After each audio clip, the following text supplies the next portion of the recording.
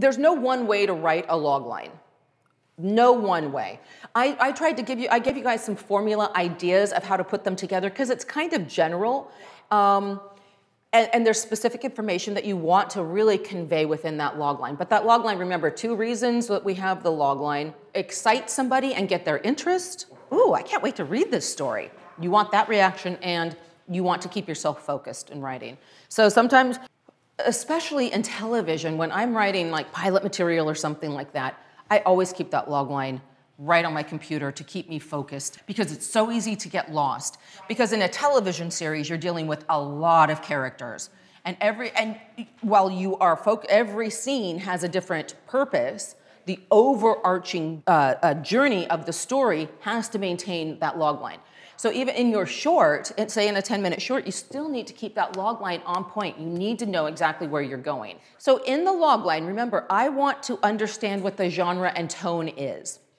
And there are there are ways to do that. That's going to be with the words that you use, right? The language that you use, the phrases that you use, the way you describe a character, the, the verbs or the adjectives that you use, and the goal. Does my character need to make amends with family members? Oh, that's a very different goal then. my lead character wants to uh, stop a lesbian wedding from occurring. And depending on the words I use, that, that woman who's going to stop that, that lesbian wedding from occurring is going to be really funny because of the type of character I use and the words I use to describe her and the language I use in it. But it's very different. So, character names, real quickly, the only time you really need to have a character name is if you're looking at a historical figure.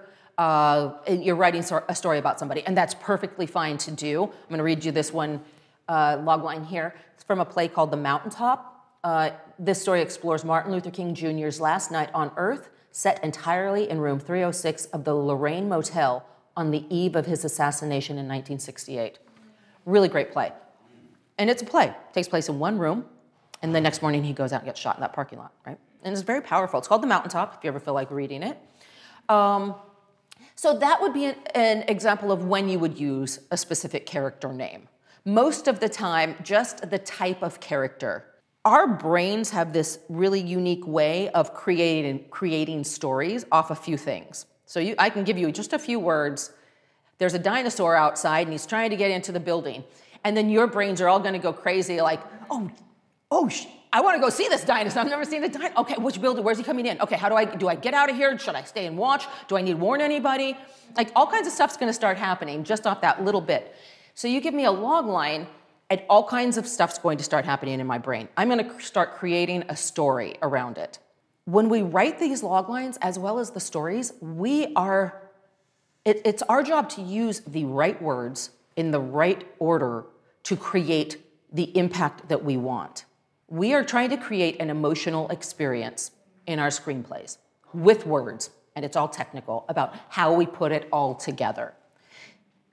If you give people too much information, they try to cling to that, and then they try to build that into the story, and it's too much. You get focused on one thing, you can't see big picture. So if you try to give me too much little information, I'm gonna go, whoa, whoa. We're painting a big picture with the logline that's engaging and interesting. And then we're going to be able to give them a lot more information in the story. It, when you're writing these, use present tense. All right? I say write everything in present tense. I don't think I have your log line in front of me. Can we, Kate, can you unmute yourself and, and say one of your log lines for us? So Yeah, yeah, absolutely. Um, in order to stop her lesbian daughter's wedding, a traditional cranky 90 year old Catholic must make a three day drive with a liberal, no holes barred Jew the mother of the other bride. It's one hell of a road trip. Okay. So, yeah, Kate's been working on her log line, right? Figuring out where we're going with that. So, you, you can see instantly, you guys laughed, and that's what you want. If you've got a log line that makes you laugh, that you know we're going to see a comedy. And we've got these two very disparate characters, right? You've got the traditional Catholic woman who's outspoken or whatever she, you know, what that is, cranky, outspoken. Um, and, and she's going to stop that wedding. So it gives her the goal, it pushes the, the action of the story forward. We keep moving forward. We know that we've got a goal. That means we don't have an inactive protagonist. Kiss of death, inactive protagonist. Get that goal. So, and now she's up against, for this comedy buddy film, you know, her complete opposite. Because that's how it always goes, you know, you have to have your opposite. So, for that type of film, we needed these two very different characters who are going to play off each other. They're going to give us a really fun time as they challenge each other. And then, you know, whatever that climax is, the big event, um, all the little lessons that, uh, that she's learned along the way show up in that moment uh, at the wedding where she's going crazy and pulling stuff apart and screaming and saying it's never going to happen over my dead body. And maybe she fakes a heart attack. I don't know you know what i mean? But all this stuff's going to happen. And um, because her journey really her outward journey is about stopping the wedding right? But we all know that her that the that the in that the need her inner journey is about learning empathy and compassion and understanding right? Because you know she loves her daughter her granddaughter. She already she loves that child. She's just got this whole POV of the life that she's lived that's standing in her way. In that log line, we know that she's got this goal. We know that she's got to overcome uh, this road trip with this person who is totally different than her. Um, and they're going to be battling it out, and you know they're going to fight, and she's going to want to walk away, and she's going to try. She's going to try and catch a bus She's going to try and uh, hitchhike. Who knows what grandma, what the, this mom, this 90 year old woman's going to do, right? Everything to get away from this Jew, right? And this Jew is probably going to go crazy too. Um, and she just happens to be the mother of the bride. And that's going to be all set up in the first act at why they have to take the, the ride together and why they're stuck together, uh, et cetera, et cetera. I'm ready to watch it. Right? Right? I know. It's going to be a lot of fun. So we just had to have that goal. Tone and genre we talked about. Make sure you convey that in, the, in your logline. Is this a mystery? Is it a science fiction story? Is it a drama? Is it a comedy? Is it a rom com? Is it a buddy story? Is it a black comedy? You know, that's all done by the choice of words you use, the phrases you use, the way you put them together. Um, in in, in uh, Kate's logline, she used it's going to be one hell of a road trip because that hell plays off of the Catholic and the Jew ideas. We know that they're going to go, like, this is, these women are going to go through hell to get to the end. And it's a road trip. That, like, little tiny tagline, that could be a perfect tagline. It's going to be one hell of a road trip. Uh, yeah, like on the poster, that would be perfect. Um, and then you show like you you've got your little visual clues as to we've got a Catholic and we've got a Jew and we've got you know these people who are going to have odds so be very specific about the kinds of language you use, the words you use. Super important uh, in creating that visual. So we also want to convey a goal.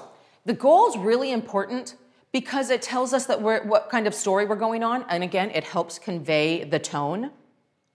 Are we making amends with family members? Are we trying to stop a wedding? Are we trying to get home in time for Christmas Day? Are we um, trying to stop the world from blowing up? Are we trying to stop the asteroid from hitting Earth? Are we just trying to get a bouquet of flowers to the girl that we have a crush on?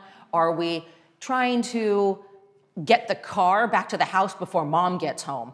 I keep building in these like little time constraints because that's really important. Think about that. That puts the pressure on.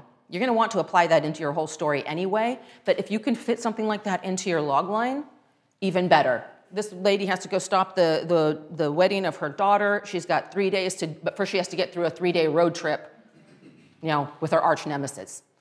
So we know we've got three days, the pressure's on. If she doesn't meet it, what are the stakes? What are the consequences?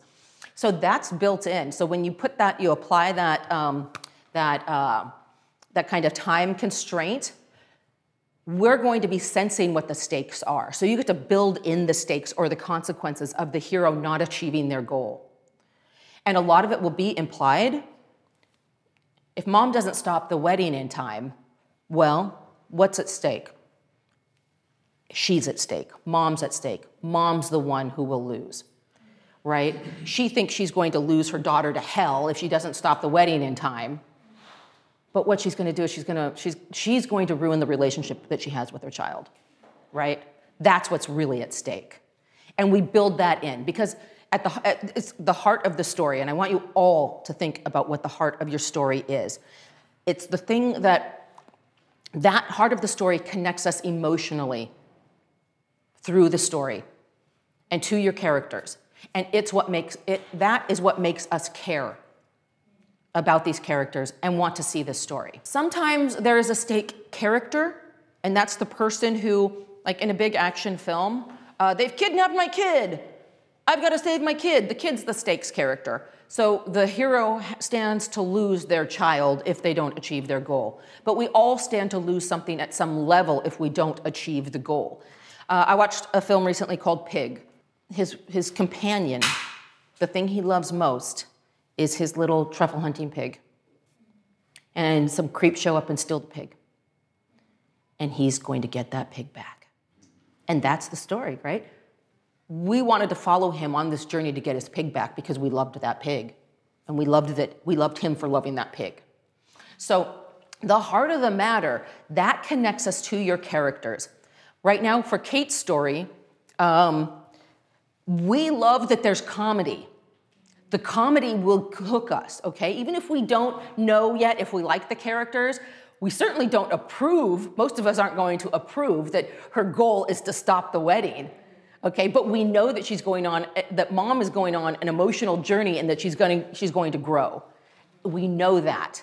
And we know that she loves her daughter because she, if she didn't love her daughter she wouldn't be trying so hard to stop the wedding right so we're going to go on this journey because one it promises to make us laugh i'm laughing i think it's going to be funny i'm hooked I think this mom really loves her daughter, and I can't wait to see the journey mom's gonna take and the growth. And you know what? I know at the end, I'm gonna cry because there's going to be that emotional connection between mom and daughter. And that's gonna get me right here. So think about how, what the heart of your story is and see how you can build that into your log line. Just that little bit. I mean, I think, I think probably far deeper about these things than most people. But I know that when people read this stuff, somewhere subconsciously, it resonates with them. Following the death of his brother, an alienated teen attempts to connect with his mother and work through his guilt and loss. What kind of film is that? Drama. Way lots of drama, right? I mean, we've got alienated teen. That's serious. There's nothing funny about this log line. It's definitely not a comedy, right? He's trying to connect with his mother and work through his guilt and loss. That's a lot of heavy stuff. That his goal is an alienated teen attempts to connect with his mother and work through his guilt and loss. That's his journey of the story. That is his goal. He wants to connect with his mother and build that relationship. What does he stand to lose if he can't, can't achieve his goal? Yeah, his relationship with his mom. And that's huge, right? The loss of that, that relationship with uh, a parent. So here's, let's see, I've got another log line. A man wants to repair his relationship with his ex wife and teenage son after he is diagnosed with terminal cancer. Not a great, not great wording, but what kind of film is this? It's definitely a drama, yeah, right? And what's his goal? Survive. To build the relationship, repair the relationship, yeah. right? Just know what's at stake if he doesn't achieve his goal never having that relationship with his son, dying without being able to hear his son say, I love you. Like, that's truly what's at stake. Or knowing, or even letting his son know how much he loves him.